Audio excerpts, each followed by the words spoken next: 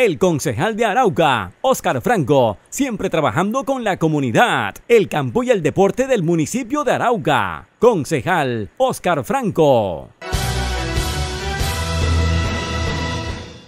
Varias personas se encadenaron en la EPS Medimás en Arauca por la mala prestación del servicio que se viene prestando. La comunidad en Noticias La Lupa Araucana. Afiliados de la EPS de Medimás se encadenaron en las instalaciones en el municipio de Arauca por la mala prestación del servicio en esta región del país. Le niegan algunas autorizaciones para su control médico. Porque he venido siendo vulnerado mis derechos, los míos y, los de mi familia. Y el, pago, el no pago de mis incapacidades, que llevo 20 meses en esta situación y ahorita me encuentro que llevo un mes sin recibir sueldo, entonces ya entenderán ustedes que uno con familia, con hijos, uno le toca reventar y la única solución es venir a amarrarse porque ellos no solucionan desde Bogotá nada. No, aquí no me dan solución de nada, eh, ya me han llamado siete desde Bogotá y siempre con lo mismo y que mi expediente no lo conocían, que para allí, que para acá, entonces tiran la pelota el uno al otro y, y estamos esperando que me den respuesta. Don Fidel Vescance lleva varios meses solicitando la autorización del oxígeno que debe utilizar permanentemente en la EPS Medimás y no ha sido posible. El problema mío es un asunto de que no atienden a los pacientes aquí como debía ser. Empezando en mí, en, mí pues la, el año pasado tuve una crisis que le tocó eh, sacarme de urgencia en ambulancia para Cúcuta el 21 de diciembre. Estuve hospitalizado 22 días en Cúcuta y Bucaramanga.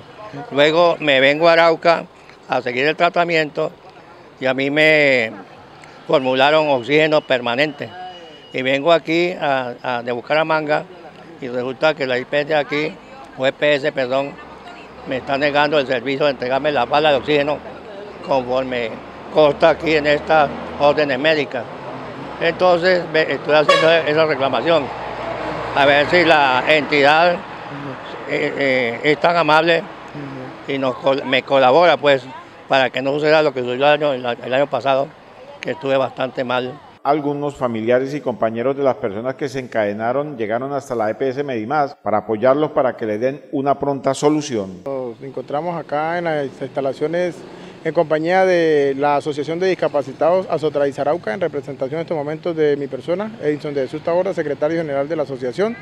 En estos momentos nos encontramos nuevamente aquí en las instalaciones de Medimás, eh, haciéndole compañía a un compañero que se encuentra eh, reventado por la EPS Medimás, donde ya el hombre agotó todos los recursos eh, en, en, lo derecho para pedir que Medimás ejecute, y asimismo le paguen sus incapacidades.